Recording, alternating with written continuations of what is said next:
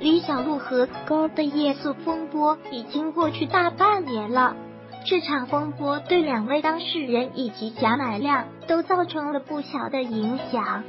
高的说唱事业陷入低谷，李小璐与贾乃亮的婚姻关系也一直为广大网友揣测。时间是治愈一切的良药。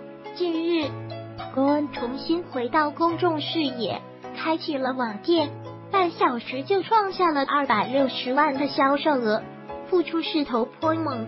在大家都以为夜宿风波即将被人淡忘之时，这场连续剧再次更新了。起因是一位网友在高恩的网店购物时，发现客服发了一段另一个品牌 Wannabe 的宣传语。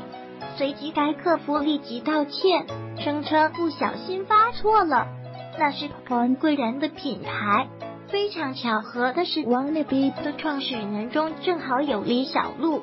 莫非客服所说的“刚的贵人”指的就是李小璐？有网友猜测，客服发错消息的这种情况，很有可能是因为网店的客服与 W A 的客服是同一批。所以才不小心发串了。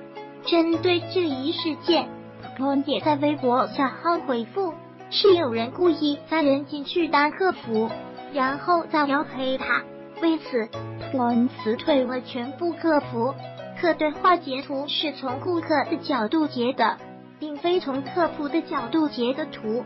客服黑他的这个结论有点站不住脚。此外，这位发网店对话截图的微博网友是朋的铁粉，发微博的初衷也是觉得客服失职了，想要朋工作室好好处理一下，所以也不存在被人找来黑哥的说法。事发后，该网友还四处道歉，大部分网友对哥的解释并不买账，除了皮狼备受争议外。贾乃亮和李小璐的婚姻关系也备受关注。夜宿风波曝光后，贾乃亮与李小璐鲜少和体亮相，包括李小璐父亲生日，贾乃亮都没有现身，却出现在好友儿子的百日宴。这些举动使得网友们猜测纷纷。